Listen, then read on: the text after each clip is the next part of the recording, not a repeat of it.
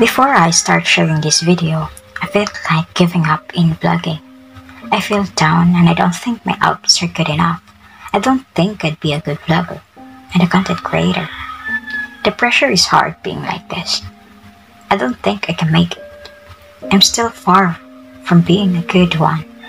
I'm too far from the success. But then, as I reviewed my gallery, I found this.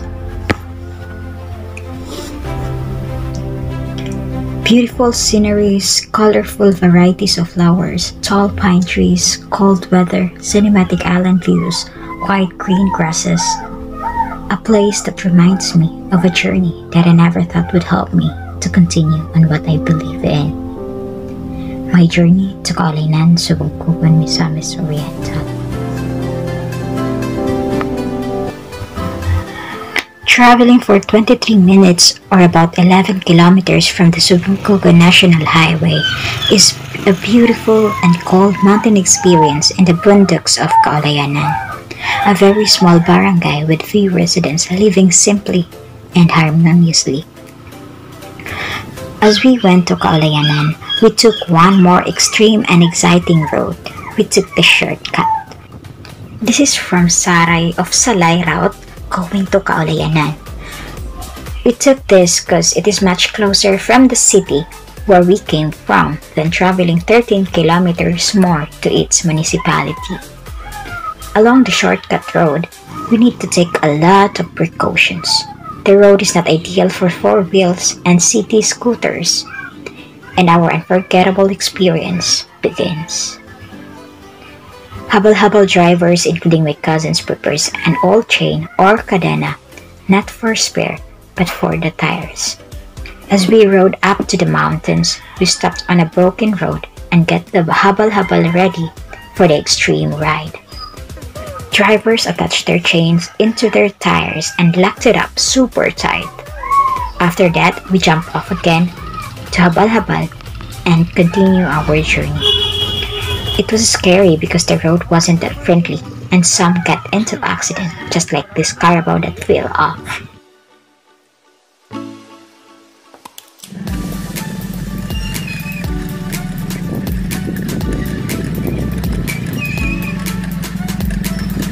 We even had to walk some road because we were afraid that we too might fall off from the habal-habal.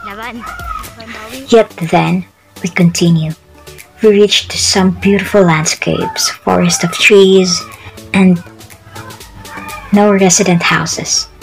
I felt a bit scary from the rebellious people that might come out from this jungle. It was a mixed emotions actually of being scared but excited to see what's coming next.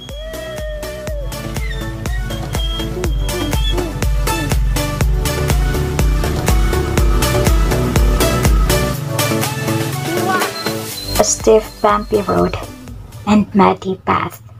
The foggy weather adds up struggles to the drivers and it blocks their visions to the road.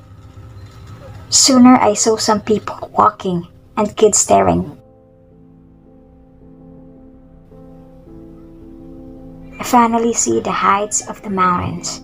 I felt the blowing of cold air. We're on the top already. Reached to our Lola's property.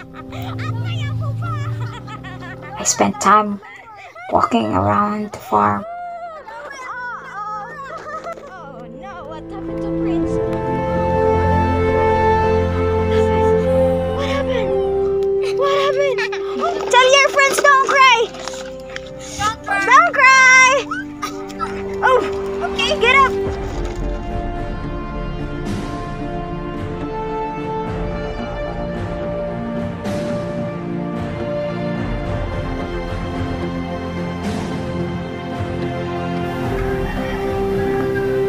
I was able to walk around the barangay and get to see their beautiful old houses and small park full of beautiful flowers and artful displays.